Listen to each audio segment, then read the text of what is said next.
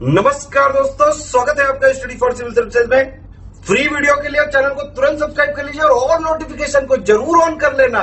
हमारा फ्री वाला टेलीग्राम ये वाला ग्रुप ज़रूर से ज़रूर ज्वाइन कर लीजिएगा। दोस्तों हिस्ट्री को रिवाइज करने के इस क्रम में, इस समय हम सिक्स सेंचुरी बीसीई का जो पॉलिटिकल मैप है उसको देख रहे थे और मैप कैसा है? ये डिस्क्रिप्शन के माध्यम से दिया गया मैप है। इसमें हम जो इंडियन हिस्ट्री है, उसकी पॉलिटिकल सिचुएशन को देख रहे थे। और इस क्रम में यहाँ पर जो चित्र आप देख रहे हैं। ये असल में एक बॉक्स है और इसमें इविडेंसेस के तौर पे दिखाया गया है। देख लीजिए the evidences of existence of lot of republics is found during Buddha period they are as follow मतलब जो प्रमुख गणतंत्र बुद्ध के समय में होते थे। गणतांत्रिक व्यवस्था उस समय काफ़ी प्रचलित थी। आपने देखा है कि लिच्छवी जो था, ये दुनिया का पहला रिपब्लिक दिखाई देता है। यानी दुनिया में पहला जो फ़र्स्ट रिपब्लिकन स्टेट है, उसको स्थापित करने का श्रेय ये हमारे देश के पास है। यहाँ पर कुछ और कुल मिलाकर इनकी संख्या दस है। इन रिपब्लिकों का नाम दिया हुआ है। सबसे पहले है शाक्य ऑफ़ कपिल वस्तु। यहाँ के गौतम बुद्ध खुद थे। शाक्य गणराज्य के जो मुखिया थे शुद्धोधन, उन्हीं के बेटे थे। इसके बाद जो अगले हैं वो कौन से हैं? ये है भग ऑफ़ भग कौन ये वहाँ के शासकों का जो नाम है मतलब उनके डायनेस्टी का नाम है, वो दिया हुआ है। तो ये भग किसके थे? ये सुमसुमार पर्वत के भग कहे जाते थे। और इनका क्षेत्र भी साथ में जानते चलिए, यहाँ क्षेत्र का नाम नहीं दिया हुआ है। जो शाक्य थे कपिल वस्तु के, इनका क्षेत्र कौन सा है? नेपाल की तराई वाला क्षेत्र है, आप जानते ही हैं। और जो सुमसुमार पर्वत के भग्य थे, इनका जो क्षेत्र है, ये मिर्जापुर का जो चुनार वाला इलाका है, वहाँ पर आता है। इसके अलावा अलकप के बुली बुली ऑफ़ अलकप, ये जो थे, इनका एरिया अगर आप देखिएगा तो बिहार पूरा एक प्रदेश है, आप जानते ही हैं। उसमें शाहबाद, आरा और मुजफ्फरपुर।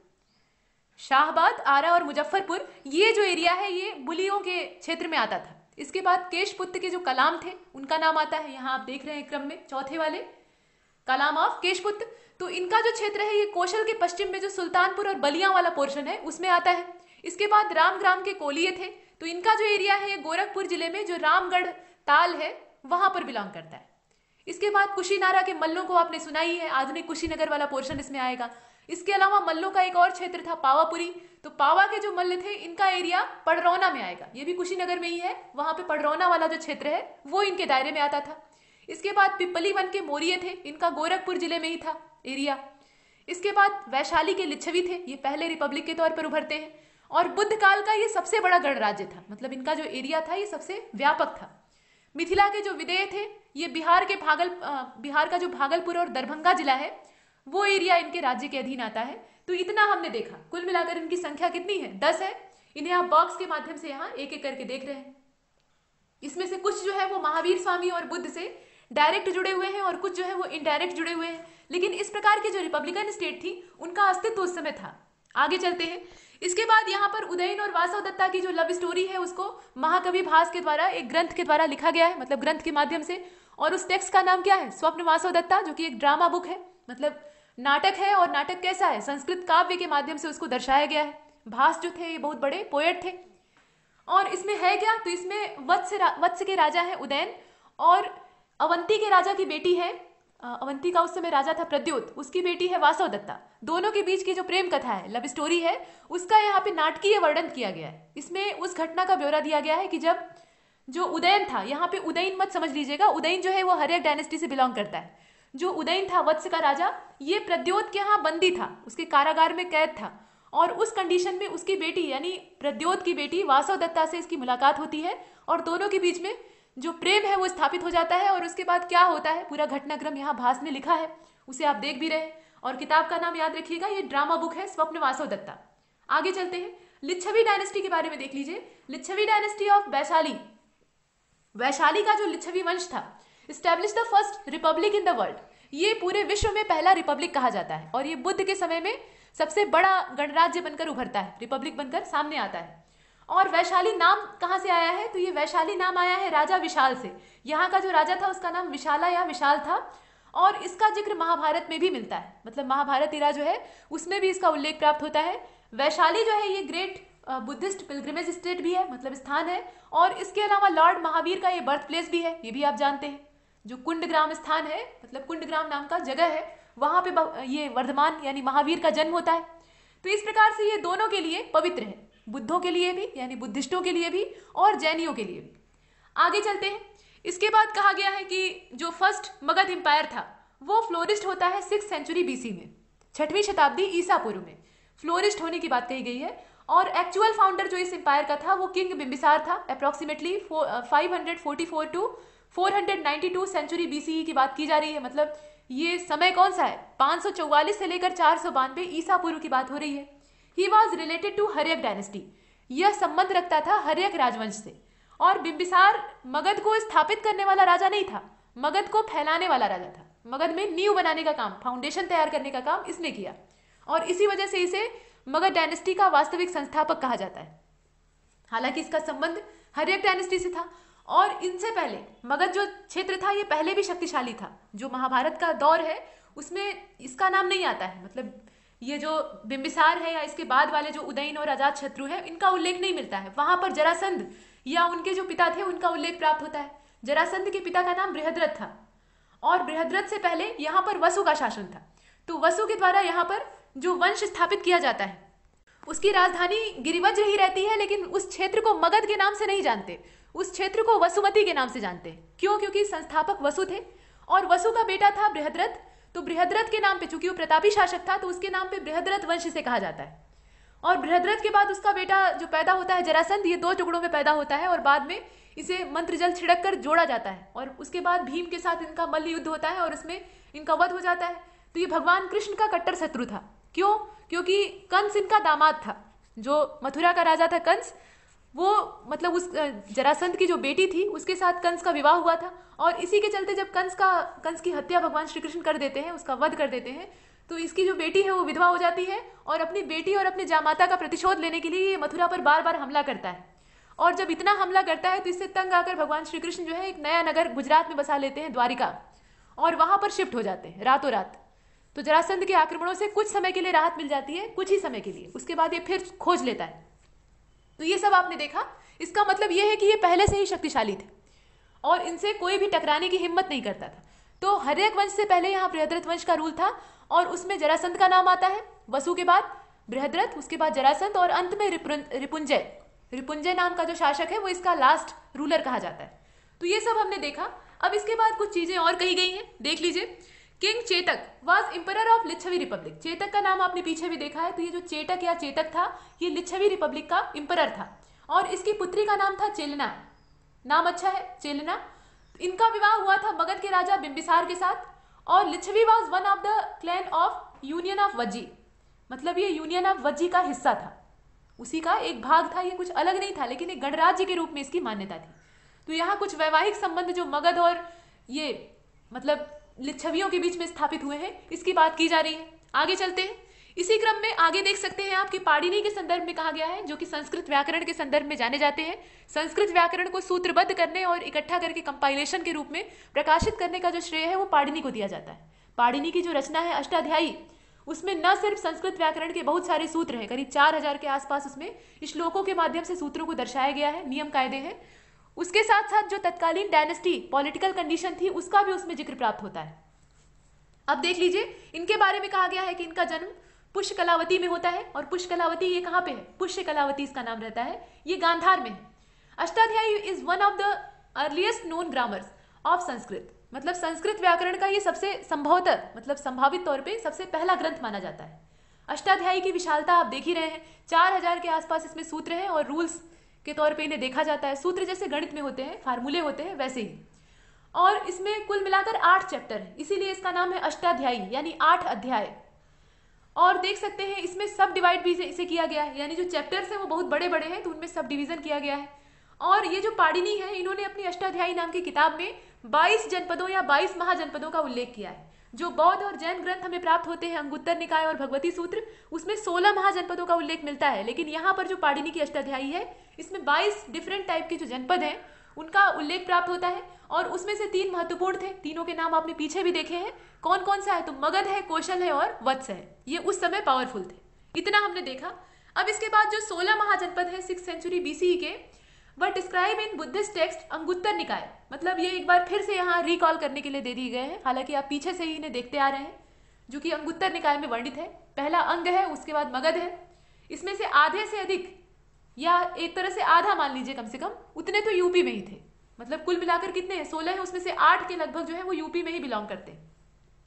तो देखिए, अंग है, इसके बाद मगध है, काशी है, कौशल है वज्जी है, मल्ल, चेरी, वत्स, कुरु इसके बाद पांचाल, मत्स्य, सूरसेन, अश्मक, अवंती, गांधार और कंबोज।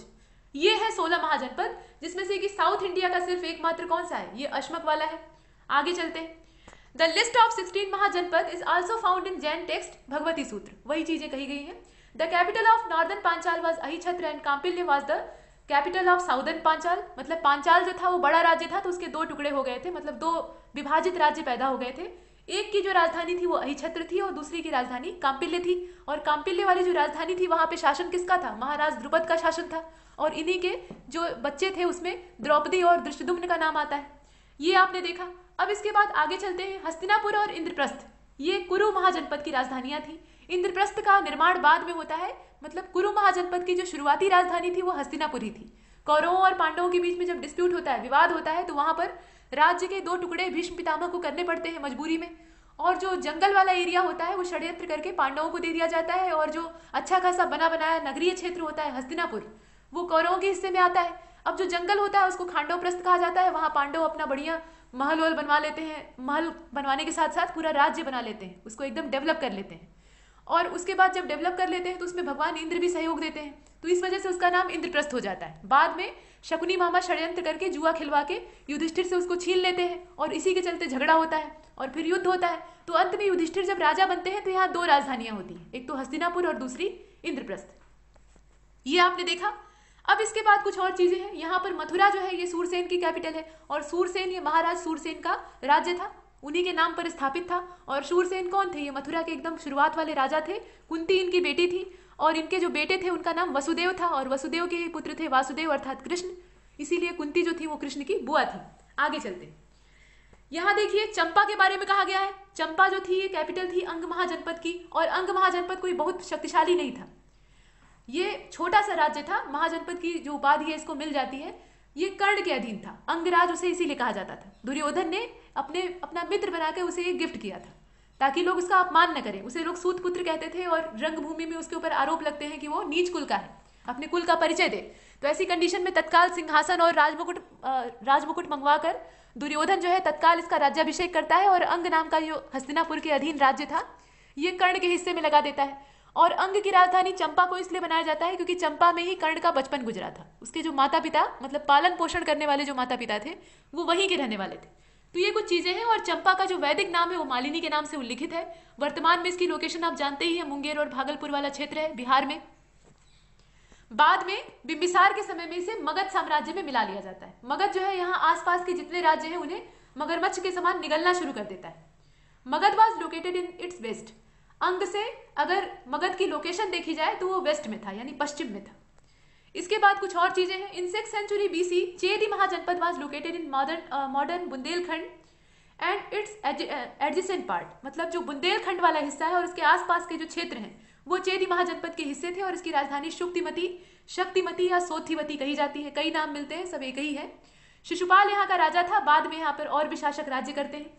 ये सब आप देख चुके हैं। अलेक्जेंडर कनिंघम यहाँ पर जो इतिहासकार हैं, काफ़ी प्रसिद्ध हैं। इनके बारे में कहा गया है कि had identify the ancient Shravasti at Sahet Mahet यहाँ आप देख रहे हैं अलेक्जेंडर कनिंघम के द्वारा आइडेंटिफाई किया जाता है जो एंशियंट श्रावस्ती है। At Sahet Mahet today Shravasti place near Gonda in Uttar Pradesh ये 1861 में इन्हें आइडेंटिफाई करने का अवसर प्राप्त होता है। अलेक्जेंडर कनिंघम कनिंघम ने बहुत सारे महत्वपूर्ण कार्य भारतीय इतिहास में और जो भारतीय पुरातत्व है, यानी आर्कियोलॉजिकल क्षेत्र है, उसमें किए हैं। अंग्रेज़ों के द्वारा एक चीज़ जान लीजिए। देखिए, अंग्रेज़ों ने भारत पर आक्रमण किया। आक्रमण क्या किया? धीरे धीरे कब्जा किया। एक झटके में आक्रमण करके नहीं मिलाया। लेकिन धीरे धीरे करके कब्जा जमाते गए। पहले व्यापार करने के लिए आए और उसके बाद यहाँ पैर फैलाना शुरू किया और शासन करने लगे। तो निसंदेह इन्होंने शोषण तो किया है, इसमें कोई डाउट नहीं है। लेकिन उसके साथ इन्होंने कुछ अच्छा काम भी किया है। ये सब अंग्रेज़ ही हैं और आप देख रहे हैं कि ये आज़ादी का समय नहीं है, ये गुलामी का समय है। उस समय देश गुलाम था।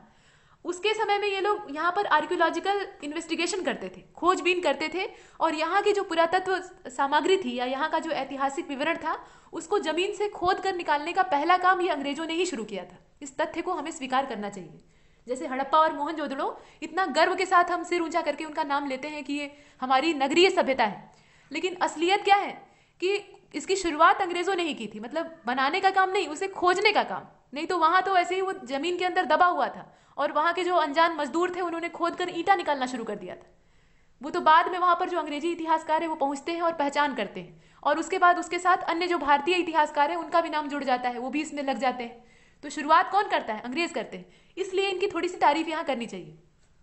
अलेक्जेंडर कनिंगम ने यहाँ पर ये जो सहेत महेत वाला स्थान है, जो कि गोंडा के पास यूपी में था, इसको श्रावस्ती की संज्ञा दी। मतलब बताया कि ये श्रावस्ती है या इसे श्रावस्ती के नाम से जाना जाना जाना चाहिए।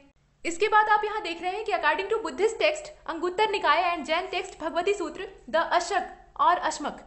अश्मक को ही असक के नाम से भी जानते थे was located between the Godavari and Narmada river during six century BC मतलब छठवीं शताब्दी ईसा पूर्व का जो समय है उस समय गोदावरी और नर्मदा नदियों के बीच का जो घाटी वाला क्षेत्र था, वैली वाला पोर्शन था, उस उर्वर प्रदेश में अश्मक महाजनपद पाया जाता था और इसकी जो राजधानी है वो पैठन या प्रतिष्ठानपुरी के नाम से जानी जाती थी। इसे हमने देखा।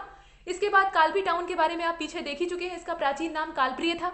और ये है कहाँ पर? तो ये जालौन डिस्ट्रिक्ट में है। यूपी का ये जालौन डिस्ट्रिक्ट है, वहाँ पर ये सिचुएट करती है। और ये किनारा है यमुना नदी का। ड्यूरिंग एंशियन टाइम पीरियड ये कालप्रिय के नाम से प्रसिद्ध थी और बाद में बिगड़ते बिगड़ते इसका नाम कालपी हो जाता है। ये कुछ हमने देखा और यहाँ पर राजा जो था, वो वसुदेव था। वसुदेव नाम का राजा यहाँ पर शासन करता था, ये चौथी शताब्दी की बात कही जा रही। इसके बाद जो अगला है, वो कंटक डायनेस्टी है या कंठक डायनेस्टी से कहा जाता है। यहाँ पर इसके बारे में कहा जा रहा है कि इसका जो लास्ट रूलर था, वो हरसिम्हा देव था। He was a great patron of art and literature मतलब वह कला और साहित्य का काफ़ी ज़्यादा पुजारी या अनुयायी था। He was the pro founder of Panji system यह जो पंजी सिस्टम है, इसका ये प्रो फाउंडर कहा जाता है। मतलब पूर्व संस्थापक कहा जाता है। हालाँकि इसे प्रॉपर तरीके से डेवलप करने का काम ये बाद में होता है। The famous historical physician Jivaka contemporary of lord Buddha was related to the court of Bimbisara Bimbisara जो कि हरियक वंश का संस्थापक कहा जाता है उसके राज दरबार में जीवक नाम का एक राजवैद था जो कि उसका फिजिशियन था और वह चंड प्रद्योत के उपचार के लिए इसे उनके दरबार में भेजता है, जो कि अवंती के राजा रहते हैं। और ये काफ़ी महान था उस समय मतलब काफ़ी फ़ेमस था। बिम्बिसार हैड सेंट जीवक, वही चीज़ें कही गई है। To the state of Avanti king Chanda Pradyota for medical service उसकी मेडिकल सर्विस यहाँ पर पसंद की जाती है। मतलब जो अजात शत्रु होता है, वो, माफ़ कीजिएगा, जो बिंबिसार होता है, वो इन्हें जीवक को भेजता है यहाँ पर चंड प्रद्योत के उपचार के लिए। चंड प्रद्योत जो है ये, उस समय पीलिया यानी जॉन्डिस से ग्रसित रहते हैं और बिंबिसार के ये जो दूत होते हैं मतलब ये इनके फिजिशियन भी रहते हैं और दूध भी रहते हैं, ये वहाँ जाकर अपना उपचार करते हैं, उन्हें मेडिसिन वगैरह देते हैं और वो ठीक हो जाते हैं। तो ऐसी यहाँ पर जब स्थितियाँ होती हैं तो दोनों के बीच में मित्रता हो जाती है। मतलब मगध साम्राज्य और जो अवंती के राजा हैं, उनके बीच में जो फ्रेंडशिप है, वो क्रिएट होती है। ये चीज़ें, इसके बाद कुछ और बातें कही गई हैं। Bimbisara said to be the first and most powerful emperor of Haryanka dynasty who was also the real founder of Magadha empire आपने ये देखा कि मगध एम्पायर जो है वो पहले से ही है। मगध का उदय इससे काफ़ी समय पहले ही हो चुका है। महाभारत काल में भी इसका ज़िक्र प्राप्त होता है। हरियक वंश तो बाद में आता है। पहले यहाँ पर जो बृहद्रथ का वंश है वो शासन करता है। उससे भी पहले इसका नाम वसुमती रहता है। बाद में बृहद्रथ का शासन होता है और उसका जो बेटा है जरासंध, वो महाभारत काल में उल्लिखित किया गया है। और उसके बाद इसका जो अंतिम रूलर होता है वो रिपुंजय होता है। रिपुंजय के बाद यहाँ पर बहुत समय तक छोटे छोटे राजवंश जो कबीलाई होते हैं, वो शासन करते हैं। उसके बाद अंत में हरियक वंश आकर यहाँ कब्जा कर लेता है। कहने का मतलब ये है कि बिंबिसार का यहाँ पर अधिकार हो जाता है। तो ये सब हमने देखा। अब इसके बाद कुछ और चीज़ें हैं। He was also called Sarva Chhatrantaka यहाँ पर बिंबिसार के संदर्भ में कहा जा रहा है और उसके बाद फिर नंद डायनेस्टी के बारे में कहा गया है। तो बिंबिसार यानी हरियक वंश और उसके बाद अन्य राजवंशों के बाद एक क्रम से अगर हम अंत तक देखें तो नंद डायनेस्टी का यहाँ पे शासन होता है। यहाँ तक मगध राजवंश जो है वो एक क्रम से मतलब बिना किसी परिवर्तन के चलता है। हालाँकि राज्य की जो विस्तारवादी नीतियाँ हैं वो लगातार चलती हैं, लेकिन परिवर्तन कुछ खास नहीं होता। परिवर्तन कहाँ पर होता है? जो मौर्यन एम्पायर स्टार्ट होगा, वहाँ से होगा। चंद्रगुप्त मौर्य के समय से।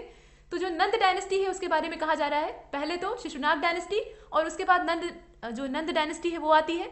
और यहाँ पर ये मगध पर शासन करते हैं। महापद्म नंद यहाँ का सबसे प्रतापी शासक होता है नंद डायनेस्टी का। और ये इसका फाउंडर भी कहा जाता है, वास्तविक फाउंडर इसका अन्य नाम अगर आप देखिएगा तो उग्रसेन के नाम से भी इसे जानते हैं। इसकी उपाधियों के तौर पर इसे एक राट, चक्रवर्ती सम्राट, इसके अलावा सर्व छत्रांतक दूसरा भार्गव या दूसरा परशुराम भी कहा जाता है। इस प्रकार की उपाधियाँ इसे दी गई हैं। ऐसा क्यों कहा जाता है? क्योंकि ये क्षत्रिय हंता रहता है। इसके बाद कुछ चीज़ें यहाँ मोटे अक्षरों में दी हुई हैं, इसको देख लीजिए। According to Buddhist and Jain text the ruler of Magadha यहाँ पर जो बुद्धिस्ट और जैन टेक्स्ट है मतलब जो अंगुत्तर निकाय और भगवती सूत्र है, उसके हिसाब से मगध के रूलरों को देखा जाए तो इसमें हर्यक डायनेस्टी जिसका कि दूसरा नाम अगर आप देखें तो पितृहंता डायनेस्टी भी कहा जाता है इसे। क्यों कहा जाता है? क्योंकि बिंबिसार की हत्या करके उसके बेटे अजात शत्रु ने गद्दी पर कब्जा किया था। और उसके बाद अजात शत्रु की हत्या करके उसका जो बेटा है उदयन, वो यहाँ पर कब्जा करता है। तो इस प्रकार से ये अपने पिता को मारकर शासन हासिल करते हैं। ये इनका एक तरह से फ़ैशन बन जाता है। तो वो चीज़ें हम देख रहे हैं, इस वजह से इस डायनेस्टी को पितृहंता डायनेस्टी कहा जाता है। स्टैब्लिशमेंट अगर आप देखिएगा तो Haryanka dynasty was founded by Bimbisara और उससे पहले जो बृहद्रथ डायनेस्टी है, उसकी फाउंडेशन महाराज वसु के द्वारा रखी गई थी। ये हमने देखा बिम्बिसार को एक क्रम से देख लीजिए। इन जैन लिटरेचर जो जैन साहित्य है, उसमें इसकी टाइटल श्रेणिक के नाम से मिलती है। इसे श्रेणिक के नाम से भी जानते हैं। Bimbisara expanded the dynasty through victories and material relation Bimbisara ने दोनों ही तरीकों से अपनी डायनेस्टी का पूरा जो प्रसार है एक्सपेंशन है, वो किया। मतलब पहली चीज़ तो विजय के द्वारा विक्ट्रीज के द्वारा और दूसरा जो वैवाहिक संबंध थे, उसके द्वारा। दोनों ही क्रियाओं के द्वारा ये अपने साम्राज्य का विस्तार करता है। वैवाहिक संबंध जो थे, उसमें पहला विवाह अगर देखा जाए तो ये चेलना चेलना नाम की एक राजकुमारी से विवाह करता है जो कि चेतक की बहन रहती है। ये लिच्छवी का, लिच्छवी रिपब्लिक का राजा होता है चेतक। उसकी ये बहन है चेलना। उससे ये विवाह करता है। जो सेकेंड मैरिज इसकी है, वो महाकोशला से होती है और महाकोशला जो है, ये कौशल के राजा प्रसेनजीत की सिस्टर रहती है। जो इसका तीसरा विवाह होता है, वो प्रिंसेस छेमा के साथ होता है, जो कि मध्य देश की राजकुमारी रहती है। Bimbisara merge Anga Anga mahajanapada into kingdom of Magadha. Bimbisara जो है, वो अंग महाजनपद को, जो कि किसी समय में स्वतंत्र राज्य रहता है और ब्रह्मदत्त के अधीन रहता है और उससे पहले यहाँ अंगराज कर्ण का शासन रहता है तो इसको मगध साम्राज्य में विलय कर लेता है। मतलब इसी के समय में मगध साम्राज्य में अंग का भी विलय हो जाता है और ऐसे छोटे छोटे अन्य जो महाजनपद हैं, जो कि इससे कमतर थे, वो इसमें आकर मर्ज हो जाते हैं। इसके बाद पांडु डिज़ीज़, यहाँ पे जो पांडु डिज़ीज़ है मतलब जॉन्डिस की बात की जा रही है, ये पीलिया रोग है। ये अवंती के राजा चंड प्रद्योत को हो जाता है और उनके ट्रीटमेंट के लिए ये अपने फिजिशियन जिसका नाम जीवक है, उन्हें भेजता है। अब यहाँ देख लीजिए, इसका जो मर्डर है वो इसके बेटे अजात शत्रु के द्वारा हो जाता है। इतना हमने बिंबिसार के बारे में देखा और जो इसका नाम दिया हुआ है श्रेणिक, उस नाम से इसे जाना जाता था जैन लिटरेचर ये आप देख रहे हैं। आगे चलते हैं। इसके बाद जो अगला क्रम है वो अजात शत्रु का है। He killed his father and sat on the throne इसने अपने पिता को मार डाला और सिंहासन पर बैठ गया। इसका निक नेम था कुणिक। इसे कुणिक के नाम से भी जानते थे। और ये जो कुणिक नाम है, ये कहाँ पर मिलता है? ये भी जैन लिटरेचर से ही प्राप्त होता है। जैन ग्रंथ का नाम है उत्तराध्यायन सूत्र। और उत्तराध्यायन सूत्र को अगर आप पढ़िएगा तो उसमें हर एक वंश के जितने भी शासक हुए हैं, उनका वास्तविक नाम भी दिया हुआ है। जैसे बिंबिसार का नाम मिलता है, वैसे ही अजात शत्रु का भी नाम मिलता है। तो कुणिक इसका उपनाम था और अजात शत्रु के नाम से ये शासक बनता है, सिंहासन पर बैठता है। He defeated Kosala king Prasenajit इसने कौशल के राजा प्रसेनजीत को पराजित किया था। He annexed Vaishali the capital of the Lichchhavi republic and made both Lichchhavi and Kosala the part of Magadha empire. इसने क्या किया? वैशाली को भी पूरी तरह से अपने अधिकृत कर लिया, जो कि लिच्छवी रिपब्लिक की उस समय की कैपिटल हुआ करती थी, और इस प्रकार से लिच्छवी और कौशल कौशल को आपने देखा कि पहले ही जीत लेता है। तो दोनों ही यहाँ पर मगध एम्पायर में मर्ज हो जाती है। He use two new weapons अब यहाँ पर ये दो नए प्रकार के हथियारों को इस्तेमाल करता है। कुछ युद्ध क्षेत्र में भी ये प्रगति करता है, उसका यहाँ उल्लेख है।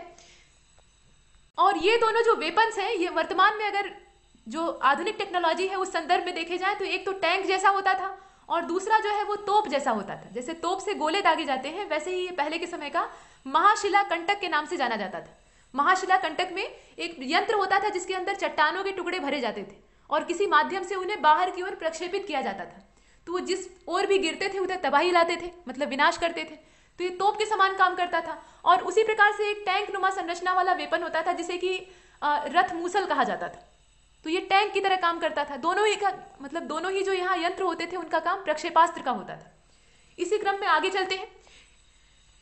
यहाँ ये कहा गया है कि during the war with the Vajra Sangha and also made वज्र संघ अ पार्ट ऑफ़ मगध मतलब इसने जो दो नए वेपन्स यूज़ किए हैं, वो कहाँ किए हैं? वज्र संघ के खिलाफ जो वार हुई थी मतलब बैटल हुई थी, उसमें इनका ये इस्तेमाल करता है। और वहाँ पर जीत भी हासिल करता है इस प्रकार के आधुनिक जो उपकरण है, उनका यूज़ करके। He was contemporary of Gautama Buddha during his time Buddha attain Mahaparinirvana, यानी मोक्ष।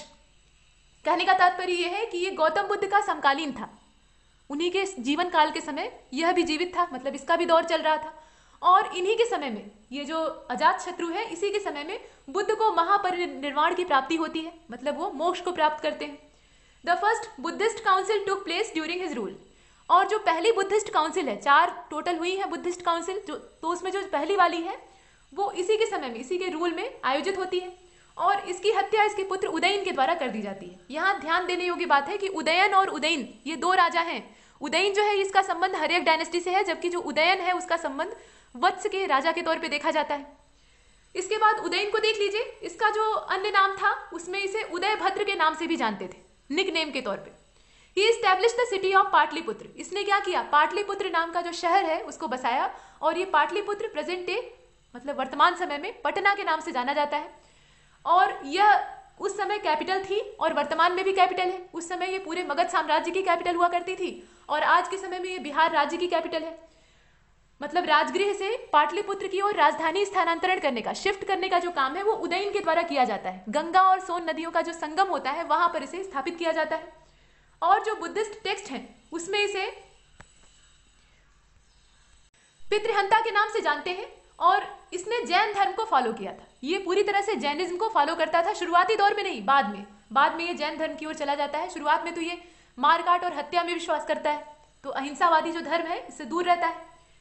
इसके बाद देख लीजिए he was murdered by someone with a knife मतलब किसी ने खंजर की सहायता से इसे मार डाला। किसने मारा ये पता नहीं है। मतलब कोई षड्यंत्रकारी इसकी हत्या कर देता है। यहाँ पर मारने वाले का नाम अज्ञात है। After him his son ruled for some time इसके बाद इसके जो बेटे होते हैं, वो कुछ समय तक रूल करते हैं but soon the people choose trustworthy Amatya Shishunaga as their king and Shishunaga dynasty was later establish in Magadha मतलब कुछ समय तक तो इसके जो उत्तराधिकारी होते हैं, वो रूल करते हैं, लेकिन वो उतने योग्य नहीं रहते हैं। तो सबके इन सब के बाद में जो शिशुनाग वंश है, उसका प्रारंभ होता है, और शिशुनाग डायनेस्टी की शुरुआत करने वाला जो रूलर था, वो खुद शिशुनाग ही था। ये इसका प्रथम शासक माना जाता है। मतलब यहाँ पर जो ये उदयन है, इसके उत्तराधिकारी इतने ज़्यादा निरंकुश और अत्याचारी होते हैं कि जनता तंग आ जाती है। और जनता यहाँ बगावत करती है और बगावत के चलते उन्हें गद्दी छोड़कर हटना पड़ता है। और इसके बाद जो अमात्य होता है शिशुनाग, वो आकर यहाँ गद्दी पर कब्जा कर लेता है और एक स्थायी शासन की स्थापना करता है। इस तरीके से हमने देखा, ये उस समय बनारस का उपराजा हुआ करता था। मतलब काशी में ये रूल करता था, एक तरह से वहाँ का गवर्नर था। और स्थिति का लाभ उठाकर ये मगध का राजा बन जाता है। और करीब करीब सौ साल की जो प्रतिस्पर्धा चल रही थी, यानी कंपटीशन चल रहा था अवंती और मगध साम्राज्य के बीच में, उसको भी ये समाप्त करता है। इस प्रकार से ये जीत का श्रेय लेता है और अवंती को मगध साम्राज्य में मिला लेता है। ऐसे ही वज्जियों के ऊपर भी कंट्रोल स्थापित करता है। ये सब चीज़ें हमने शिशुनाग के बारे में देखी। तो आइए देखते हैं शिशुनाग डायनेस्टी को। फाउंडर इसका शिशुनाग था। From four hundred twelve BC to three hundred ninety four BC ये जो इनका समय है वो दिया हुआ है, यानी चार सौ बारह ईसा पूर्व से लेकर तीन सौ चौवालीस ईसा पूर्व। His main achievement was to conquer the Avanti kingdom वही चीज़ है। मतलब अवंती किंगडम को इसने कॉन्क्वेयर किया और उसके बाद अपने किंगडम में, यानी मगध में मर्ज कर लिया। He shifted the capital from Pataliputra to Vaishali मतलब यहाँ पर क्या होता है? वैशाली की तरफ़ जो कैपिटल है उसको शिफ्ट किया जाता है। पाटलिपुत्र से यहाँ वैशाली की ओर कैपिटल शिफ्ट हो जाती है। आपने देखा है कि उदयन ने सबसे पहले पाटलिपुत्र को एक नगर के रूप में डेवलप किया और उसके बाद वहीं पर कैपिटल को शिफ्ट किया था। तो यहाँ एक बार फिर से राजधानी चेंज हो रही है। इसके बाद काला शोक को देख लीजिए। काला शोक का जो समय है वो 394 से लेकर 366 का है। और इसका जो निक नेम था, वो काक वर्ण था। काक वर्ण या काला शोक, एक ही आदमी का नाम है। दोनों दो चीज़ नहीं है। अब यहाँ देखिए he shifted the capital back to Pataliputra इसने फिर वही उल्टा काम किया मतलब शिशुनाग के द्वारा जो राजधानी का चेंज किया गया था ट्रांसफ़र उसको इसने रद्द कर दिया और वापस अपनी जो कैपिटल है उसको पाटलिपुत्र को बनाया, क्योंकि पाटलिपुत्र स्ट्रेटेजिकल वे में काफ़ी ज़्यादा इंपॉर्टेंस रखती थी, महत्व रखती थी और इसलिए यहाँ राजधानी बनाने के लिए वो उपयुक्त थी। Second Buddhist council was organise during his reign और इसी के समय में जो दूसरी बौद्ध संगीत है, यानी सेकेंड बुद्धिस्ट काउंसिल है, वो ऑर्गेनाइज होती है। अकॉर्डिंग टू हर्षचरित यहाँ पर जो हर्षचरित है, जो कि बाण भट्ट के द्वारा लिखा गया है, इसमें यह कहा गया है कि महापद्मनंद जो है, ये काला शोक को मार डालता है। काला शोक की हत्या कर देता है। नंदीवर्धन, महानंदिन, ये सब जो है, ये लास्ट रूलर होते हैं शिशुनाग डायनेस्टी के। मतलब शिशुनाग डायनेस्टी का इसी प्रकार से अंत हो जाता है। काकवर्ण की मृत्यु के बाद उसके दस पुत्रों ने शासन किया था। ऐसा कहा जाता है। काकवर्ण यानी कालाशोक। और इसमें से नंदवर्धन या नंदीवर्धन और इसके अलावा पंचमक, ये सब मुख्य थे। पंचमक को धोखे से मारकर जो महापद्मनंद है, वो नंद वंश की स्थापना करता है और कुछ लोग ये कहते हैं कि काकवर्ण को मारने में भी उसी का हाथ था। तो ये चीज़ें हमने देखी। तो इसके बाद का जो क्रम है, उसमें हम देखेंगे नंद डायनेस्टी को। अब धीरे धीरे हम लोग मौर्यन एम्पायर की ओर बढ़ रहे हैं, लेकिन उससे पहले नंद डायनेस्टी को देखना आवश्यक है। देखिए दोस्तों, नंद वंश जो है, ये पहला ऐसा राजवंश था जिसने बिंबिसार के द्वारा जो तैयार की गई फाउंडेशन थी, उसके ऊपर एक बड़ा मगध साम्राज्य खड़ा किया था क्रिएट किया था।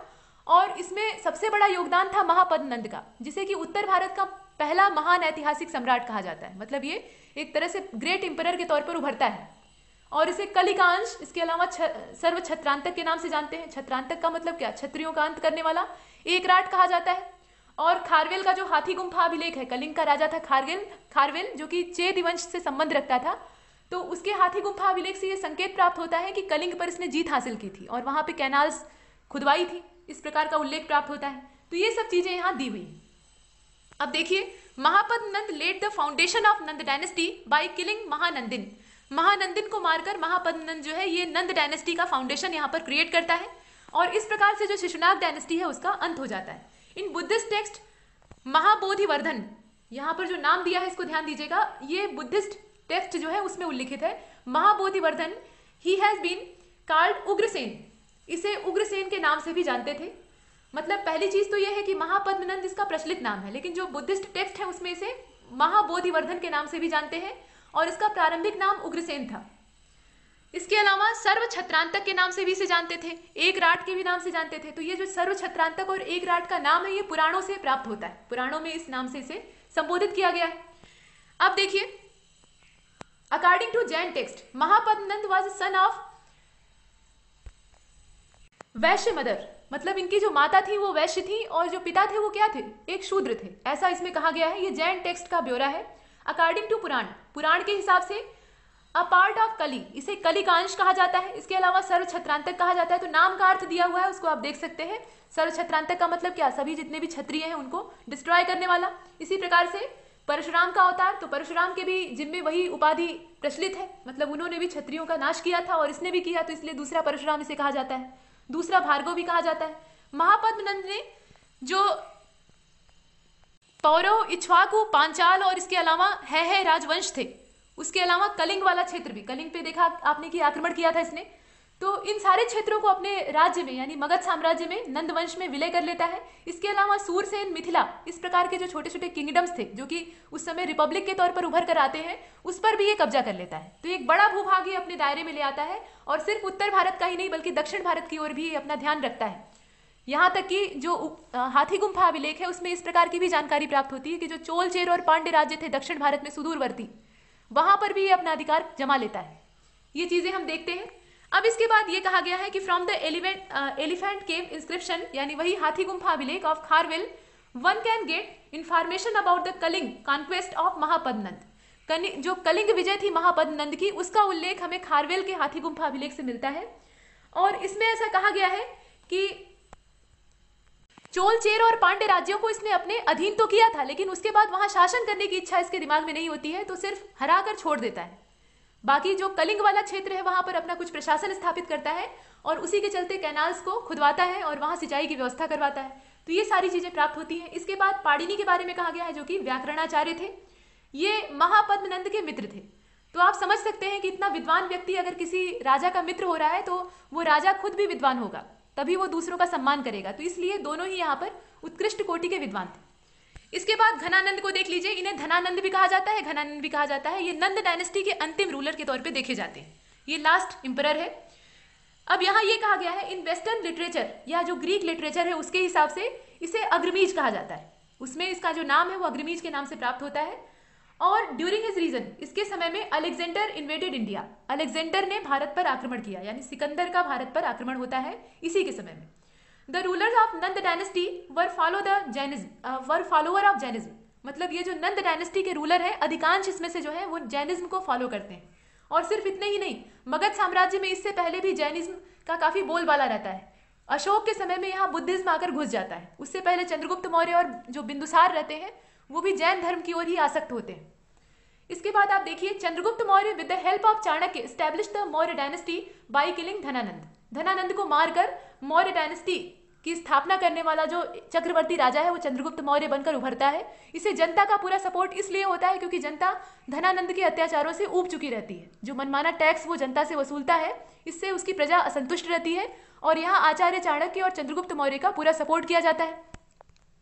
यहाँ तक हमने मगध एम्पायर को देखा और उसमें अलग अलग जो डायनेस्टीज एक के बाद एक आती हैं, उन्हें देखा। अब इसी क्रम में जो ग्रीक इन्वेशन है, उसको देखना शेष है। ग्रीक इन्वेशन इंडिया पर किस प्रकार से होते हैं और उनका क्या इम्पैक्ट यहाँ पड़ता है, ये दोनों ही बातें जाननी आवश्यक है। लेकिन वो अगले वीडियो लेक्चर में, और तब तक के लिए नमस्कार।